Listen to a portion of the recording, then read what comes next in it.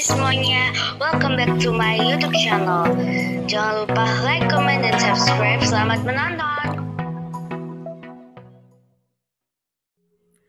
Peko Banyaya ingin memperlebar jarak dengan Jorge Martin. Francesco Peko Banyaya mencari cara agar semakin memperlebar gap dengan Martin sebagai pengejar terdekatnya di klasemen. Peko Banyaya sangat bersemangat untuk air pekan di Buriram. Dia menyukai tracknya dan berharap untuk bisa menjadi kuat.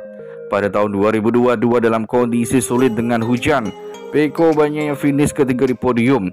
Paling tidak Peko harus finish terdekat mungkin dengan Martin dan Pucuk akan tetap aman terkendali. Sementara rekan setimnya Enea Bastian ini pun mengaku percaya diri.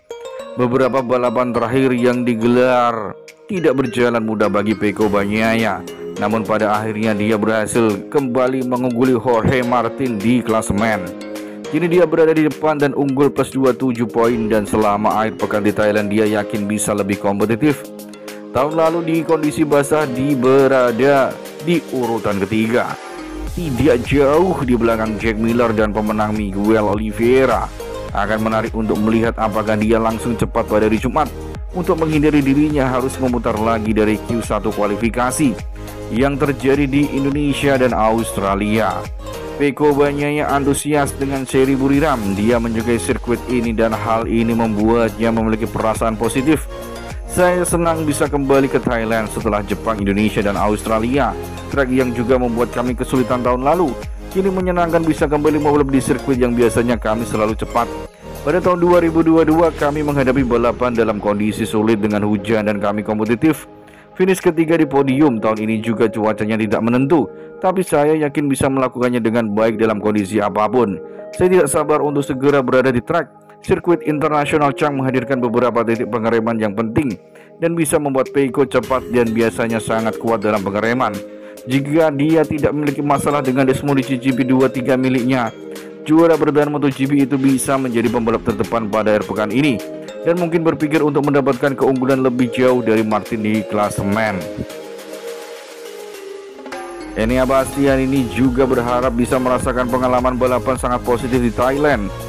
Posisi ke-10 di Philip Island tidak memuaskan dan dia berusaha untuk meningkatkan lagi dengan Ducati Desmodici GP23 yang mungkin sudah mulai dia pahami.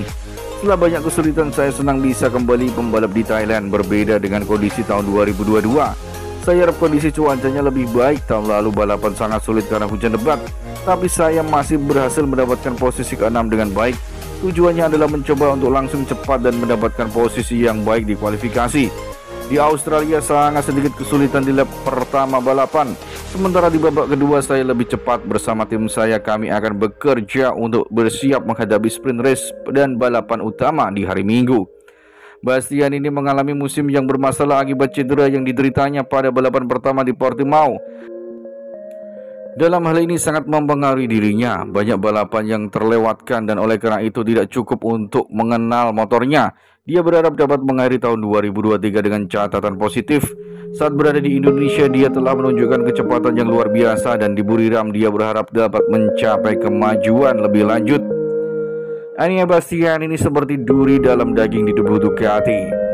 Tampaknya Ania Bastian ini lebih membela Jorge Martin untuk menjadi juara dunia ketimbang Pico Bagnaia yang sesama dari Italia dan satu tim pabrikan Ducati Lenovo. Akankah Bastian ini mengedang Pico Bagnaia untuk membantu Jorge Martin di MotoGP Thailand 2023?